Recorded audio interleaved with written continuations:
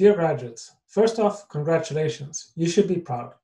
I know that I am proud to have gotten to interact with you. Graduation is always bittersweet. There is the mad rush to finish everything, the final projects, exams, etc. But there are also the things that we know we're missing out on, the things that we promised ourselves we would do when we first started on campus, but never got round to.